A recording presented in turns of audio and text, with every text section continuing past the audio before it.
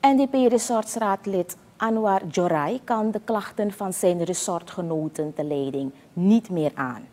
Hij heeft woensdag een petitie aangeboden aan DNA-voorzitter Marinus B.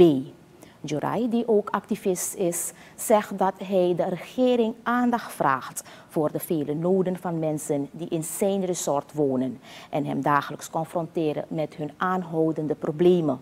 De klachten stijgen hem naar het hoofd, zegt het RR-lid wat voor die mensen betekenen. Maar ze kunnen ook niet veel betekenen omdat de NDP niet meer in de macht is. En het is een nieuwe regering, dat weet iedereen trouwens. En die mensen moeten eigenlijk volgens de wetsvoorschrijvingen moeten ze naar de nieuwe regering gaan om hulp te zoeken. En ik denk ook dat de nieuwe regering ook verplicht is om naar deze soort problemen te gaan luisteren, te gaan kijken wat er precies kan gedaan worden in dit soort gebieden.